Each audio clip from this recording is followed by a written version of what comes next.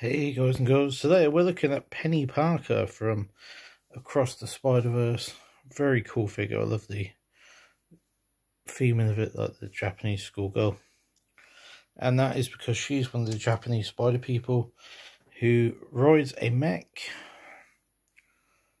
So she's got this cute little bag, two faces, sort of like an annoyed face and a thinking face hairpiece is quite good. It's like a shaggy sort of style to it.